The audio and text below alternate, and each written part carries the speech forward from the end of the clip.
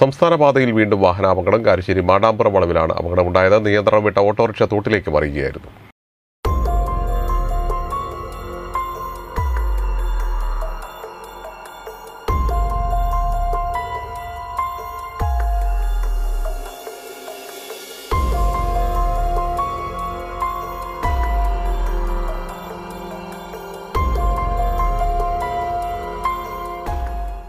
കൊയിലാണ്ടി ഇടവണ്ണ സംസ്ഥാന പാതയിലെ കാരശ്ശേരി മാടാമ്പുറത്താണ് വീണ്ടും അപകടം നടന്നത്.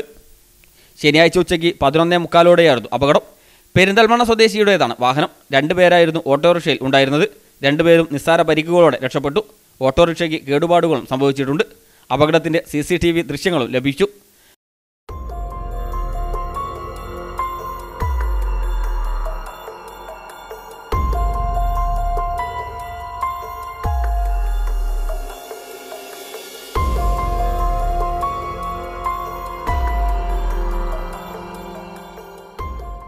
നേരത്തെയും ഇവിടെ ബസ് ഉൾപ്പെടെയുള്ള നിരവധി വാഹനങ്ങൾ അപകടത്തിൽപ്പെട്ടിട്ടുണ്ട്.